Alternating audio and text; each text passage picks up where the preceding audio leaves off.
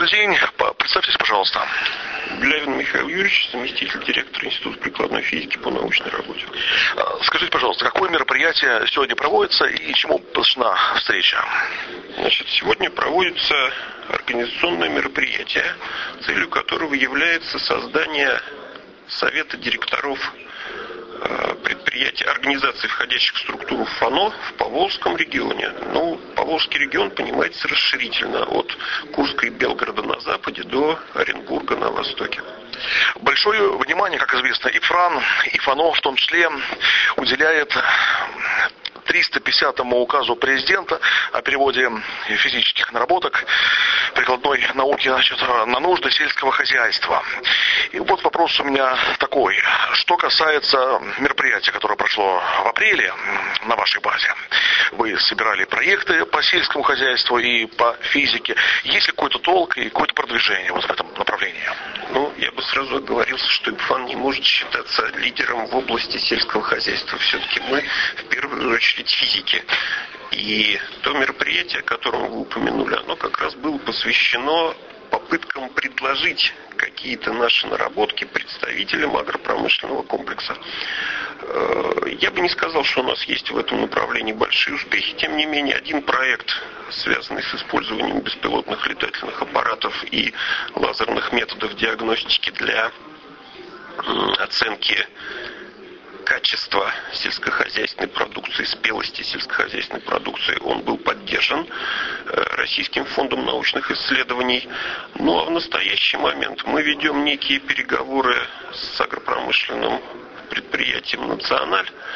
Э, и вот буквально завтра должна состояться встреча, на которой мы надеемся еще раз обсудить возможности внедрения неких наших наработок уже, так сказать, непосредственно в сельскохозяйственные предприятия, в сельскохозяйственные структуры.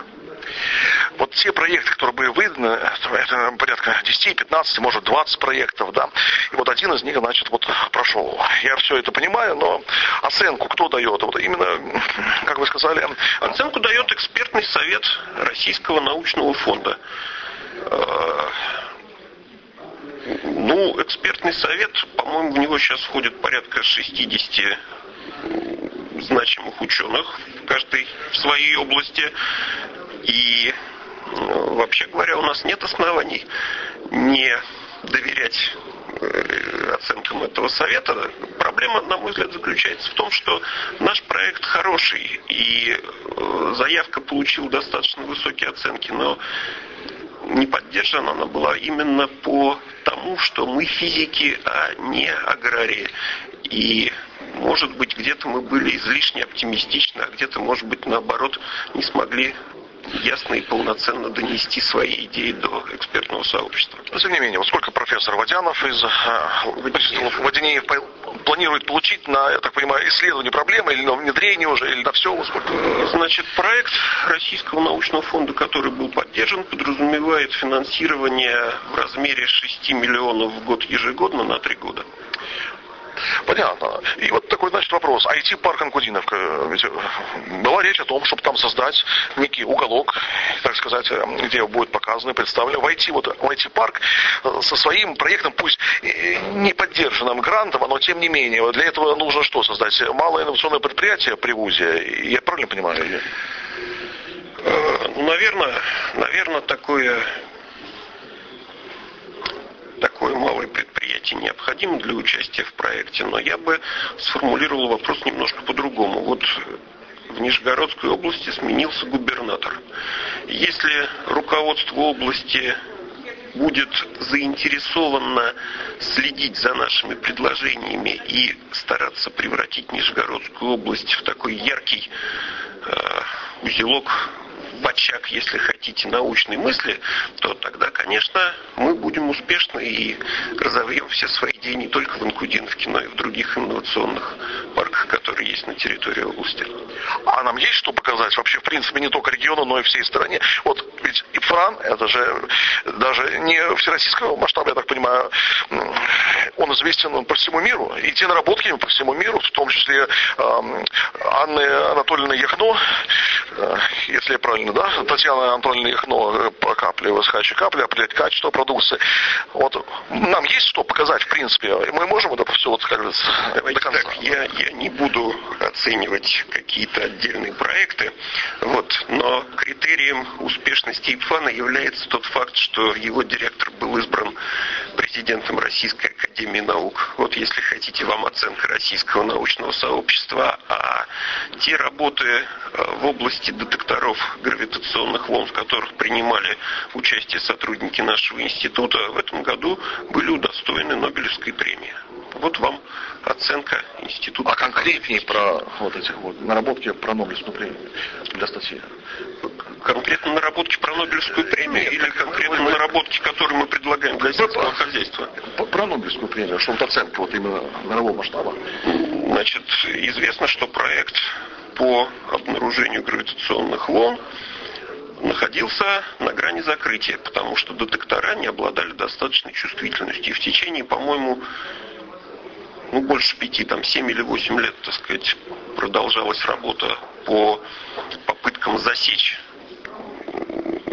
вот эту гравитационную волну, но все они были безуспешными до тех пор, пока сотрудники нашего института не сделали некий улучшенный оптический элемент, позволивший на несколько порядков увеличить точность измерений. Буквально в течение нескольких месяцев после вот установки этих новых оптических элементов были зафиксированы гравитационные волны. Какое-то время ушло на, на осмысление этого факта.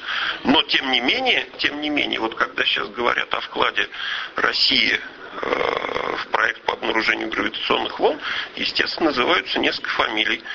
Ну, и сама идея была рождена в Советском Союзе, там предложен, если хотите, принцип в Советском Союзе, но до реализации проекта не дошло, а вот на более поздних этапах теоретическая группа из МГУ и группа э, практиков, экспериментаторов из Института прикладной физики, собственно говоря, и изготовили оптические элементы, давшие этому проекту, заслу... принесшие этому проекту заслуженный успех. К сожалению, проект был настолько большим, что, конечно, наши ученые не могли претендовать на получение Нобелевской премии, но сам факт такого участия в этих работах – это вот наш уровень. Последний вопрос. Академик Сергеев выражает свою полную готовность способствовать и продвижению проектов ИПФРАНа, в том числе и по сельскому хозяйству. Академик Сергеев не теряет связь со своим родным институтом и, конечно, э, прикладывает все возможные усилия для того, чтобы наука в Нижнем Новгороде развивалась. Ну, вы сказали о губернаторе новом. Я так понимаю, что они э, очень, мягко сказать, в хороших отношениях с новым губернатором. И я думаю, что губернатор Никитин будет слушать, и, ну, прислушиваться, во всяком случае, что Александр Михайлович. Я, я этого не сказал. Я знаю только, что состоялась пока одна встреча Александра Михайловича. 4 ноября на мероприятии на ярмарке. Вот, с э, новым губернатором, с господином Никитиным, новым губернатором Нижегородской области, но э, насчет того, что у них существуют хорошие взаимоотношения, я думаю, что до этого пока еще просто не дошло. Они должны ближе понять друг друга, ближе познакомиться. И, конечно, мы надеемся, что губернатор найдет возможность посетить и институт, и ознакомиться с работами института для того, чтобы у него было большее представление о том, чем и как мы здесь. А мы, аграрная пресса, в этом вам поможем. Спасибо, Спасибо. быть добром. Визиточку я пришлю вам.